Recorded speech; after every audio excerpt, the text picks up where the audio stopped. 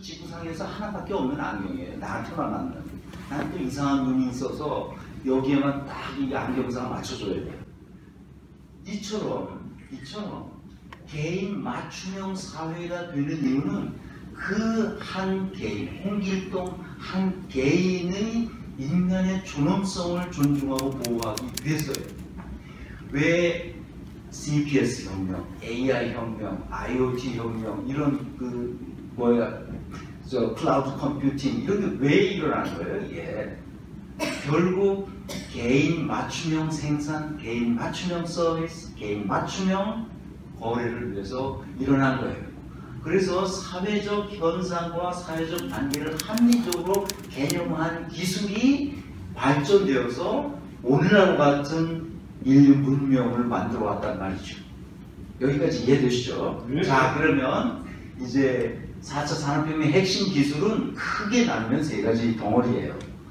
첫째 덩어리는 뭐냐? CPS, Cyber Physical System. 이것은 독일의 공장 시스템이 기존의 컨베어 벨트 시스템을 다 걷어내고 cyber physical system에 의해서 센서에 의해서 부품과 부품, 부품과 기계장치들, 부품과 설비들이 상호작용 스스로 하면서 스스로 완제품이 되어가는 공장 시스템으로 바뀌었어요.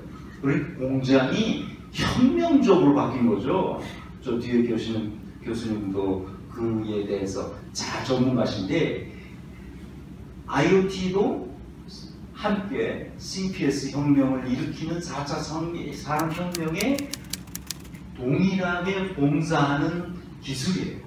이것에 관한 부, 부속된 여러 기술들이 합쳐서 말하자면 생산 방식의 혁명적 변화가 일어난 거예요.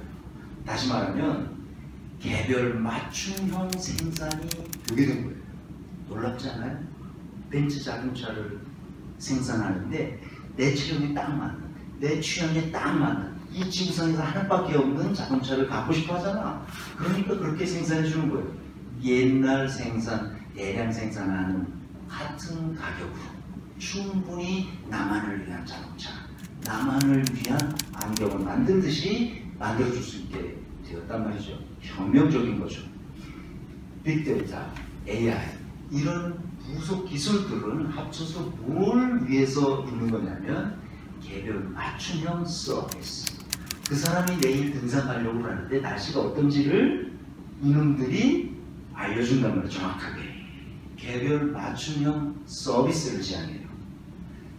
개별 맞춤형 생산에서 개별 맞춤형 서비스로 갔다가 이제 여러분 제가 오늘 조금 더 설명하려고 하는 블록체인. 블록체인이라는 말을 들어보신 분